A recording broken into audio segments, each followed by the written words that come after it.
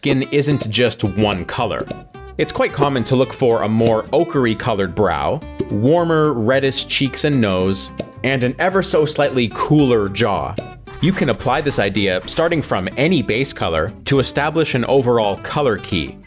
So what I'm establishing first here are the base colors, and then splitting the head into big light and shadow families. Even though I'm adding halftones and shapes and planes, you can see how I'm still trying to adhere to that basic structure. Ochre up top, reddish in the middle, and cooler at the bottom.